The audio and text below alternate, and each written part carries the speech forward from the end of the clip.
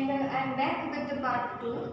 So in the previous video we have discussed about the seeds, right? The seeds which are uh, splitting into equal halves, two equal halves when we are breaking it, right? And uh, some of the seeds are, they are that small that if you are trying to break it, it is going to convert into uh, small pieces, more than two or they are converted into a powder, right?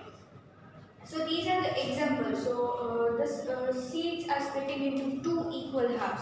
So that is about green gram, then Fijian peas, Bengal gram and peas. And this seeds are converting into small pieces or they are converting into the powder, right? So that is peas, uh, sorry, that is wheat, then maize, then millet and jowar.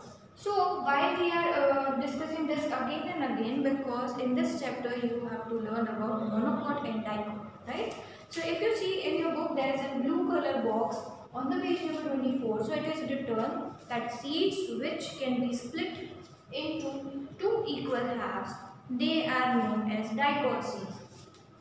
तो ये सारे seeds right these seeds are splitting into two equal halves so they are dicots right and the seeds which are not splitting into two equal half they are called monocot तो अगर आप उसको break करने की try कर रहे हो और वो टू हाफ्स में नहीं ब्रेक हो पा रहा है तो दे आर monocot और अगर it is going to be break into two equal halves then it is called dicot right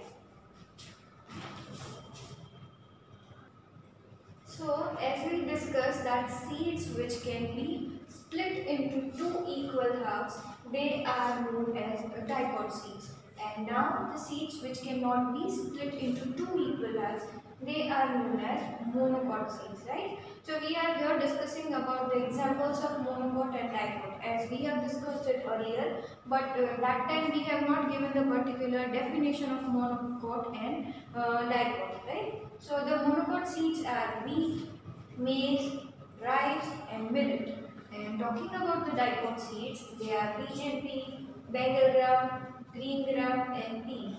Right? So this is it about monocot and dicot. So that uh, it was a very important topic uh, from this whole chapter to know that what is monocot and what is dicot. Okay, so in the page number 25 there is a little activity that is take 2-3 monocot and dicot seed and sow the seeds in a teacup, plastic bag or uh, open space around your house or school. So what you have to do, you have to take monocot or dicot seeds. आपको उसको लेना है और उसको cup या फिर plastic bag और कोई ओपन प्लेस हो वहाँ पे आपको उसको सीड्स को सो करना है मतलब कि उसको बोना है उगाने के लिए right see that they are expose to sunlight और आपको ये ध्यान रखना है कि सनलाइट बहुत अच्छी तरीके से आते आती हो and you have to water the plant time to time like आपको रेगुलर इंटरवल्स पे आपको क्या करना है कि उसी सीड्स uh, को पानी भी देना है।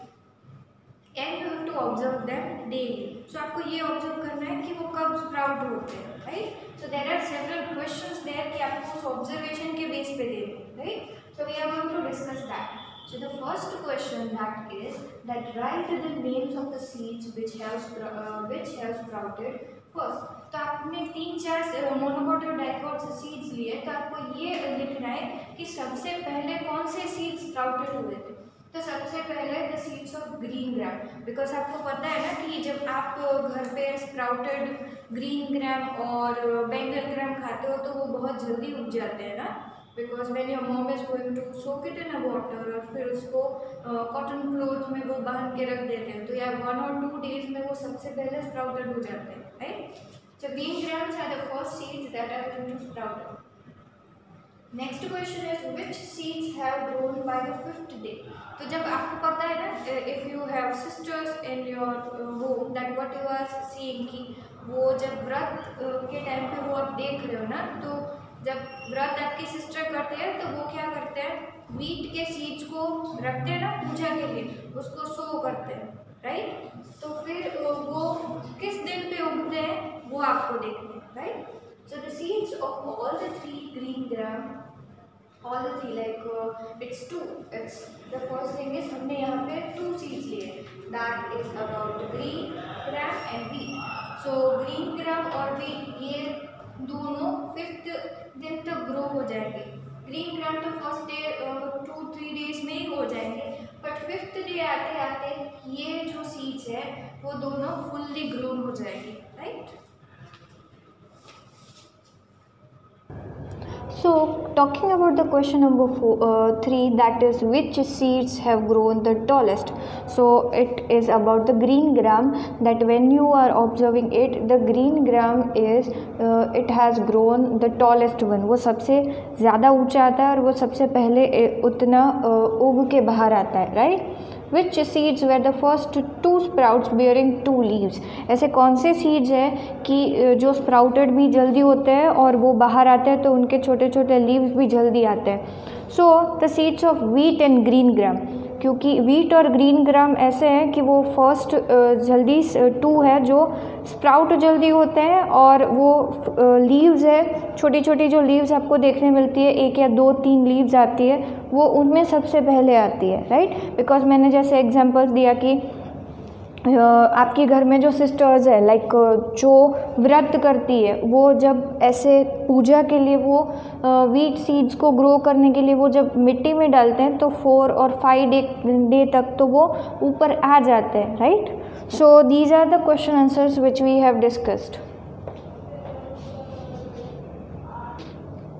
okay so uh, that is about the last page of this chapter and it is that the activity is draw the picture and feel in the color uh, in the color them right? So it is the picture about the germinating seeds. So what we are going to discuss here is the level of germinate uh, germination of seeds or the steps.